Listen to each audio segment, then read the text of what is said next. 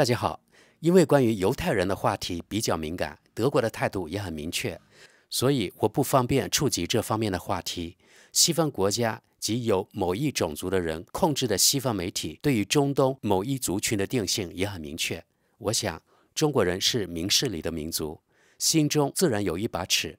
中国不是罗宾汉，强大自己最重要，永远不被别人欺负，其他的必要时出手相助就好。最近，德国焦点新闻转载了一篇德国专业门户网站的关于中国宁德时代推出新型四系超充磷酸铁锂电池，很快就能实现充电十分钟、续航四百公里的新闻。现在与大家分享一下，磷酸铁锂电池很快就能实现十分钟充电。这些汽车配备了新型超充电池。今年八月。电池巨头宁德时代推出了基于磷酸铁锂电池的新型电动汽车电池。现在，该电池的首批客户已经确定，两家中国电动汽车制造商希望在他们的汽车上使用这种电池。今年八月，宁德时代推出了名为“神行”的新型磷酸铁锂电池。这家中国最大的电池制造商在发布会上宣布。这种电池可使电动汽车实现充电十分钟、续航四百公里的超快充速度，从而预示着一个电动汽车超快充时代的到来。据行业门户网站 CNEV News 中国电动汽车新闻报道，神行电池的首批两家客户现已确定。宁德时代已于八月份与年轻的电动汽车品牌阿维塔达成协议。现在，中国电动汽车初创企业哪吒汽车也与这家电池巨头签署了协议。阿维塔和哪吒两家在中国都名不经传的汽车制造商，率先使用神行电池。据中国电动车新闻报道，十月七日，宁德时代与哪吒签署了深化战略合作协议。宁德时代董事长曾毓群、哪吒联合创始人兼董事长张勇等高管出席了签约仪式。该协议似乎并不只涉及电池。根据与该协议有关的两份新闻稿，宁德时代将与哪吒汽车提供业务支持，如管理新项目、建立新的技术合作、供应神行电池以及拓展海外业务。第二家使用神行电池的汽车制造商是阿维塔科技。阿维塔是另一家中国电动汽车制造商。由长安汽车、宁德时代和智能手机制造商华为提供资金支持。阿维塔已于八月宣布将使用神行电池。宁德时代的神奇电池将开创超充时代。宁德时代的神行电池是一种基于磷酸铁锂 LFP 的蓄能系统，就像特斯拉在其部分汽车中使用的那样。不过，据说神行电池可以实现前所未有的充电性能。充电十分钟，续航四百公里。宁德时代在发布会上解释说，这是世界上首款支持四系充电的磷酸铁锂电池。这里的系指的是电池的充电倍率。四系超充意味着电池理论上可以在一刻钟内充满电。宁德时代在发布会上说，这得益于一些新的内部研发成果，包括具有超高导电性的新型电解质配方。神行电池的续航可达七百公里。这种电池将于今年年底量产，并于二零二四年第一季度上市。届时，首批客户也将能够买到配备这种电池的汽车，但最初很可能只在中国销售。接下来，我们来看看读者评论。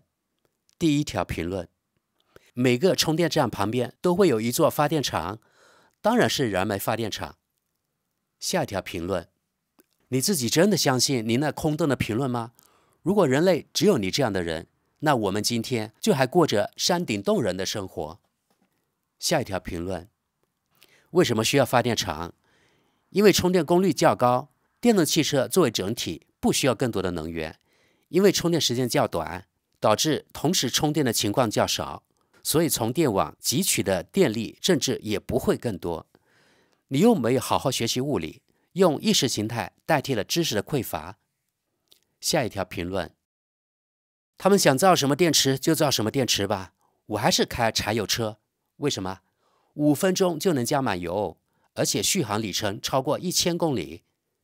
下一条评论：这五分钟多一点少一点那么重要吗？这一切都与意识形态有关。即使电动汽车可以在两分钟内充满两千公里，购买和维护成本只有燃油车的一半，仍会有柴油车迷不断编造更多支持燃油车的理由。无论这些理由多么站不住脚，您多久有一次开一千公里的机会？我的电动汽车在家里充电，每次都可以续航四百公里。除了假日旅行，我根本不需要那么大的续航。有了它，我甚至不用浪费时间开车去加油站，甚至不会损失那加油的五分钟，更不用说开车去加油站路上花的时间了。好的，朋友们，评论只有三十八条，但没有一条评论提到中国宁德时代的新型技术，而是在讨论一些物理知识。也没有提及如何让德国的电池技术得到提升，德国人的进取精神似乎都没了。现在我在广西桂林工程的高铁站前面，这里在我们县城啊这附近就可以见到他们的私家车，可以看见已经有几辆新能源车了。啊，是啊，我这个朋友。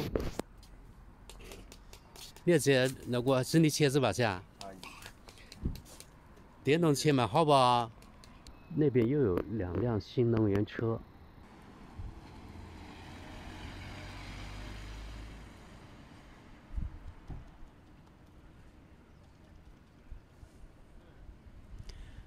我看看那边，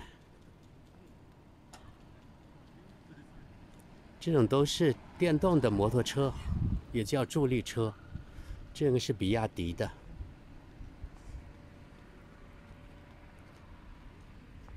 我看看，对，前面有充电站，那又有一辆新能源的充电站在前面那里。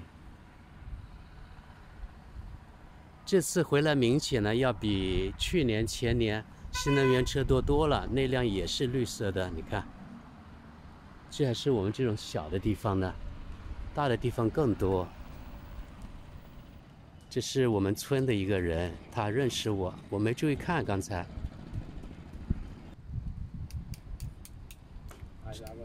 这也是绿色的车牌。我的小电驴，你看在那里，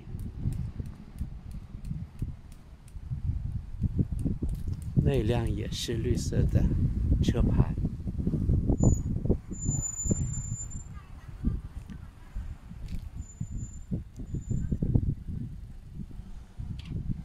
那有到湖南省江永的长途汽车，这里是个交通枢纽，就是去各地的长途汽车都在这里。那里有那个充电站的，就是公公交车也是，我们这里都是新能源的。这又有一辆绿色的车牌。好，等一下呢，我去高铁站接一个朋友。高铁站呢就在交通枢纽站旁边，所以相当于临接播吧，挺好的。哎，我刚才听见他们广播说开往西安的车，这也有，不错。开往重庆啊、成都啊、西安、香港啊、广州啊，都从这里可以经过，所以很方便啊。这里有高铁之后。好了，今天就到这里吧，谢谢大家。